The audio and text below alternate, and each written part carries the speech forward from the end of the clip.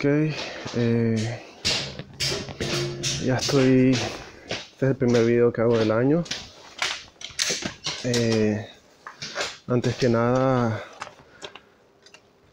felices fiestas, feliz año a todos esos que están recibiendo el año, así como hoy haciendo mercado porque no hay comida en la casa, ya que se comieron todo ayer. Eh,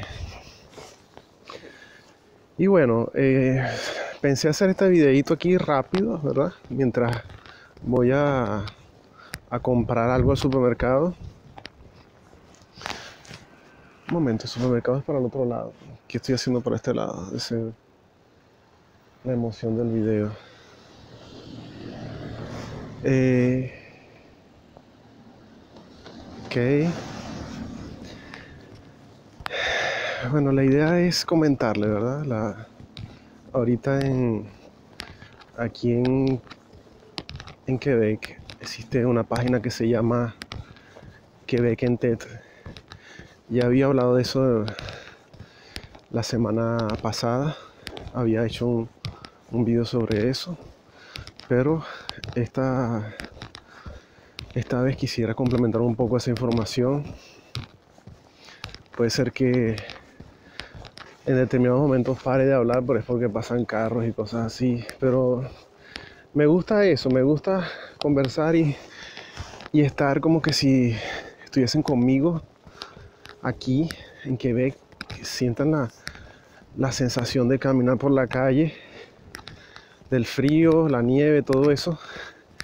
Y al mismo tiempo les hablo acerca de inmigración, que también es útil ambas cosas son interesantes. Entonces, les cuento que hay una página que se llama quebecentete.com.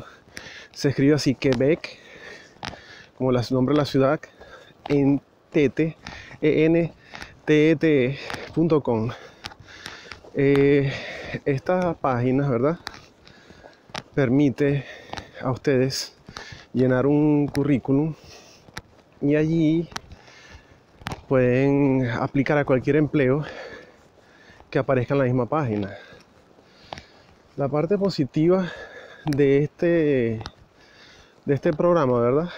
Es que todos los trabajos que aparecen en esta página son empleos apoyados por el gobierno de Canadá, específicamente el gobierno de la provincia de Canadá de Quebec. Lo que significa que eh, todo el proceso de, para atraerlos a los inmigrantes aquí a Canadá es mucho más sencillo porque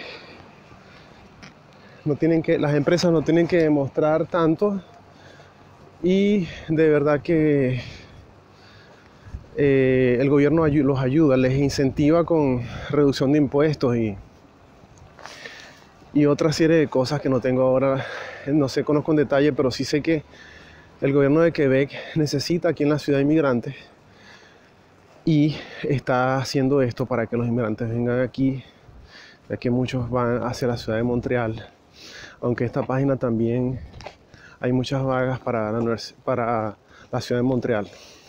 Bueno, entonces es bastante sencillo, ¿verdad? Lo que tienen que hacer es crear su, su currículum vitae Ay, disculpe, es que hay mucha nieve, no sé, creo que anoche cayó, cayeron como 30 centímetros de nieve. Eh, lo que tienen que hacer es armar su currículum. Hay una forma específica de armar el currículum, no. Tiene que tener alguna información mínima.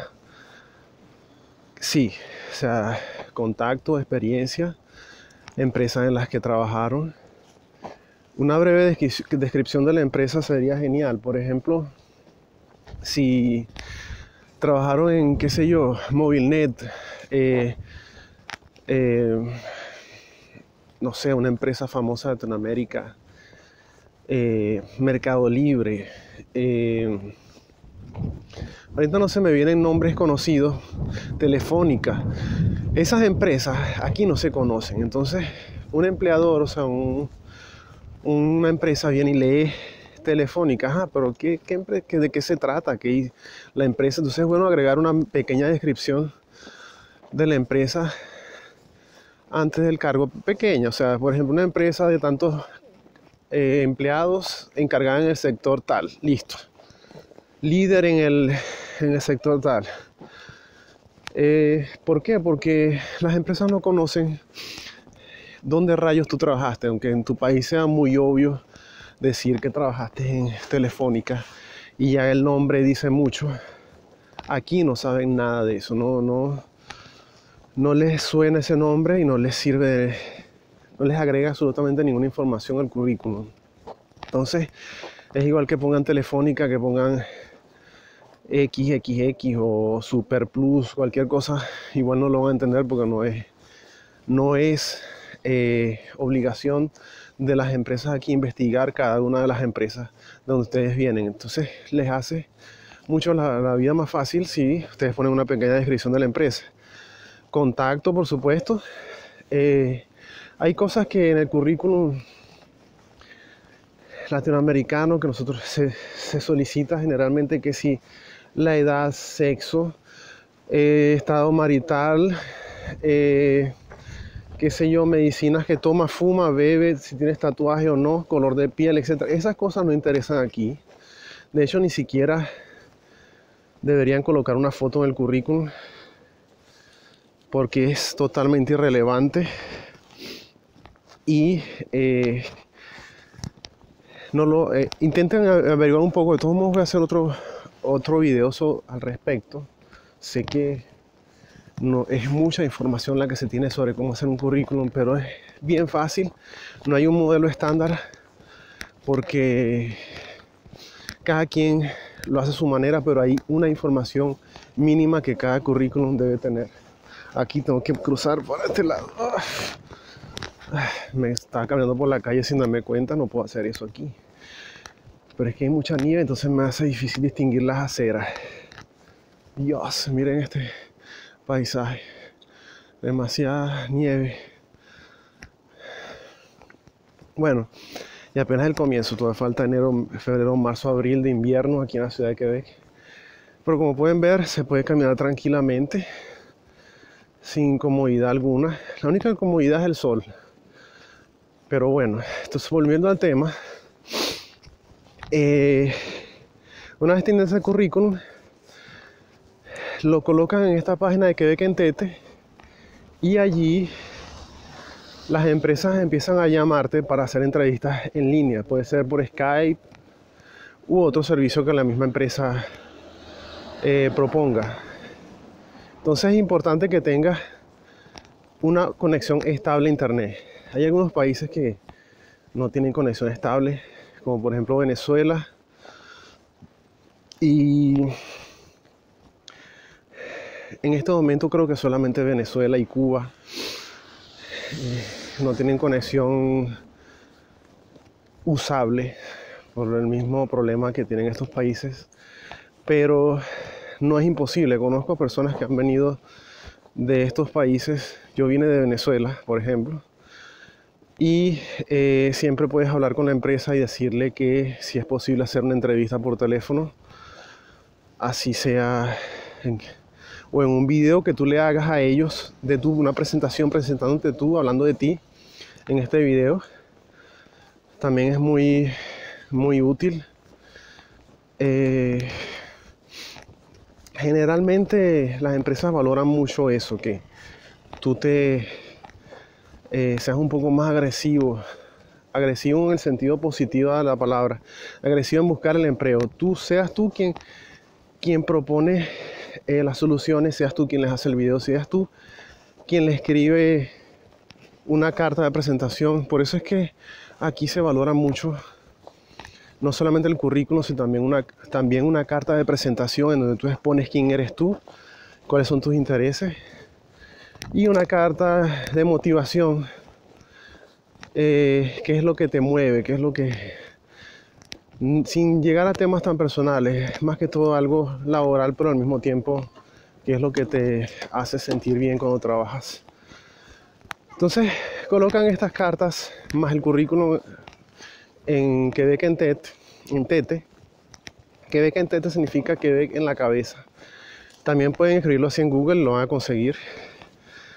Eh, y una vez teniendo estos, estas tres cosas, ya están listos para que los llamen para una entrevista. ¿Cómo hacer para que los llamen para una entrevista? Lógicamente teniendo un buen currículum. A mí me llamaron siempre a todas las entrevistas y yo soy de lejos, no soy ni, ni una mente brillante, ni, ni un PhD, ni fui el primero en mi promoción, tampoco fui un buen estudiante. Eso sí, soy responsable con mi trabajo y todos eh, los trabajos en donde he ejercido siempre tienen una buena opinión de mí. Eso es otro factor importante a tener en cuenta, ya que ellos pudiesen contactar a tu empleador anterior. Poner una persona de contacto en el currículum por cada trabajo es importante. Ahora bien, ¿cómo son las entrevistas por Skype? generalmente. Y eh, los temas que tratan son temas principalmente profesionales. Ya que aquí me, ah, me entró un poco de nieve en el zapato. Ay, cómo detesto esto. Eso pasa porque ando distraído con ustedes, pero miren esta montaña de nieve hermosa, gigante. O sea, aquí la nieve es el, el frío, no tanto, pero sí la nieve es algo, es como caminar en la playa con botas. Es realmente agradable, es como un ejercicio. Para quien le gusta, lógico. Bueno, entonces en las entrevistas se pregunta principalmente de, de cuestiones laborales. También te pueden preguntar de asuntos personales no al nivel de asuntos personales que se suele estirar, eh, estilar en Latinoamérica. Es decir, las preguntas que te van a hacer son preguntas relacionadas con el trabajo, pero también ellos van a querer eh, probar un poco si eres una persona realmente que vale la pena traer aquí. Porque lamentablemente, como en todos los trabajos, hay gente que no rinde, que dice una cosa y hace otra. Entonces, aquí se han traído a muchos inmigrantes que al final y al cabo no, dan la talla. No dan la talla significa no rinden en el trabajo. Entonces, estas entrevistas también intentan conocerte un poco, intentan saber más de ti, saber eh, quién eres tú, verte la cara, eh, verte a los ojos, preguntarte. Ellos evalúan también tu lenguaje corporal, lo que dices. Por eso es que yo recomiendo siempre decir la verdad. Siempre, cruzando aquí la calle, siempre decir la verdad es fundamental porque no solamente para la vida normal, para ahorrarte problemas, sino que decir la verdad, ellos están constantemente evaluándote. Entonces no ganas nada en decir eh, una mentira y después ellos pueden, mediante su lectura del lenguaje corporal, saber exactamente qué estás tú diciendo. Equivocarse es normal. Si te equivocas, dices, disculpa, me equivoqué en esta fecha o no sé, no me, no me acuerdo cuál es la fecha. Pero decir una mentira, eso es contraproducente. No solamente contraproducente, es antiético, antiprofesional. Eh, estoy siempre en contra de decir mentiras. Y esto te va a perjudicar a la larga en tu trabajo aquí, ya que esta es una sociedad en donde eh, la palabra importa, la palabra las personas realmente creen en la palabra aquí. Y muchas veces como eres inmigrante no saben de dónde vienes. Y tienes que demostrar, eres la representación de tu país aquí, no puedes estar diciendo mentiras y hasta no sé ni siquiera por qué estoy hablando de esta, este asunto que no tiene ninguna relación con el tema, pero pensé importante, que era importante tocarlo. Eh, otro asunto importante en la entrevista, y esto sí se los recomiendo, yo no soy un experto del área, pero leí mucho al respecto, investigué, eh, hice cursos de oratoria, de locución, de comunicación, para mejorar mi manera de expresarme en una entrevista, ya que yo tenía deficiencias en esa área.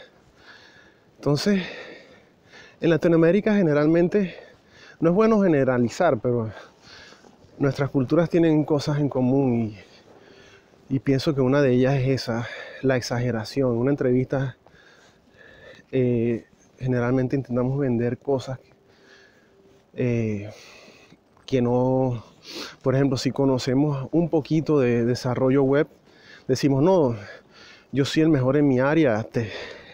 en mi antiguo trabajo fui felicitado.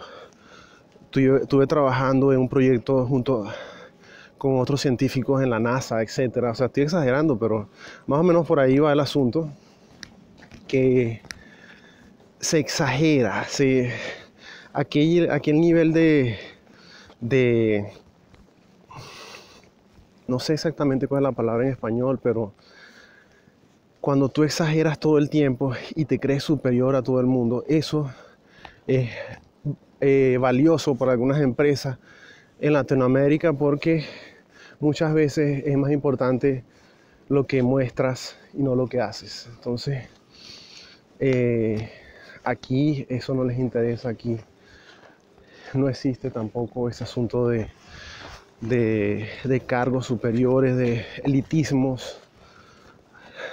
Eh, está muy mal visto ese tipo de manera de, ser, eh, de creerse superior a los demás, por el mismo sentido igualitario de esta sociedad, en donde no hay mucha diferencia entre clases. Entonces eviten ese asunto de, echársela de, que son lo mejor, de lo mejor. No, digan la verdad, tampoco se menosprecien, tampoco digan que son unas personas normales, no. Tiene que haber un equilibrio, eso es como cuando sintonizas la radio. O sea, tú vas graduando allí, eso se aprende muchas veces con la experiencia y con el convivir. No es algo fácil. El otro punto es por supuesto, el más importante de todos, el idioma.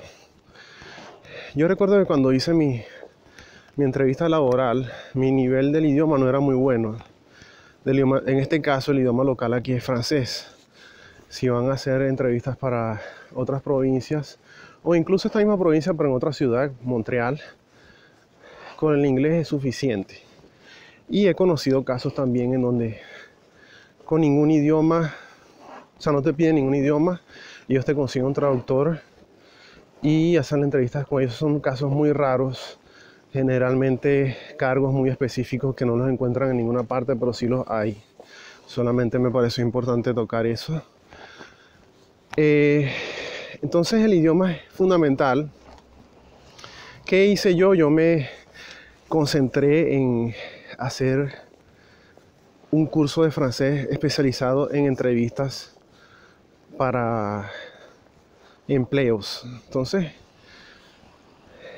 si hacen aulas, clases particulares, cursos particulares enfocados a poder desarrollar un léxico, una sintaxis, una manera de hablar que te ayude en una entrevista sería lo ideal. Sería perfecto. Y lo más importante, eh, hacerlo con un profesor calificado. Eh, muchas veces lo barato sale caro y esto se aplica a aprender también.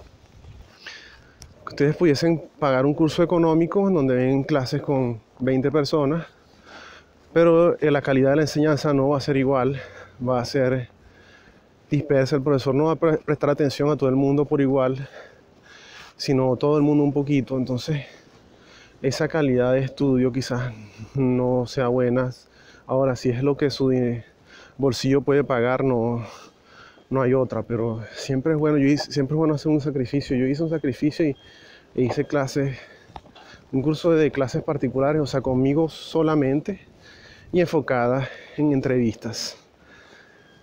Otra cosa que hice fue aprendí una, hice una lista de las posibles preguntas que me pudieran hacer con sus posibles respuestas y las estudié. Claro, tampoco es que van a lucir como un robot, que te van a preguntar eh, cuáles son tus defectos. Soy demasiado trabajador. O sea, eso es una, es una de las típicas respuestas que errada, o sea, totalmente eh, se ve que es estudiada, falsa. La idea es que sean ustedes mismos también. No tiene sentido eh, estar respondiendo a lo que para que ellos piensen que ustedes son de una manera diferente a lo que ustedes son, porque al final y al cabo cuando se encuentren con ustedes van a darse cuenta que no eran lo que le estaban pintando.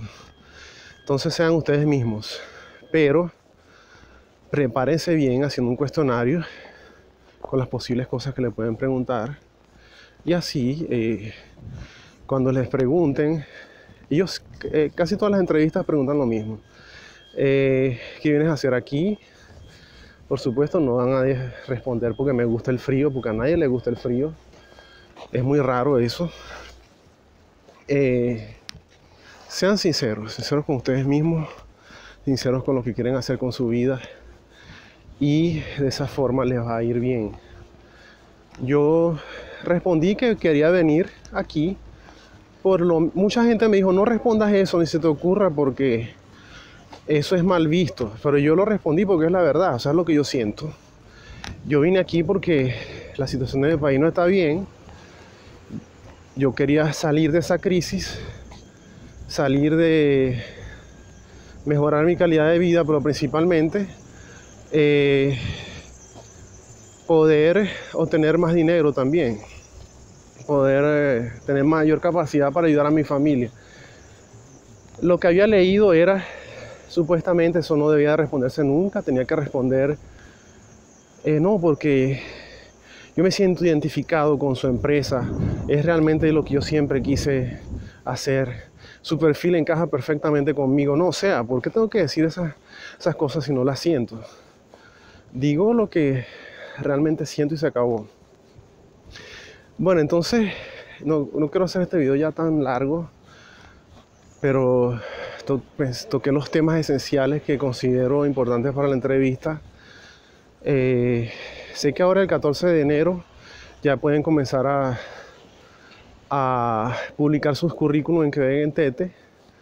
Eh, intenten leer siempre información oficial de la página no solamente de que en TET, sino también oficial de la página del gobierno. No se dejen llevar solamente por comentarios de blog o lo que yo digo también. O sea, busquen la página oficial del gobierno y allí van a encontrar eh, toda la información pertinente que necesitan para eh, poder complementar y verificar, porque hay mucha información falsa no sé si es con buena o mala intención o simplemente para obtener más visitas en un video que algunos youtubers algunos youtubers lo publican y termina perjudicando a mucha gente. Entonces hay que ser responsable, por eso yo llamo siempre, ser responsable comienza por ti y busca la información en el sitio oficial del gobierno de Canadá.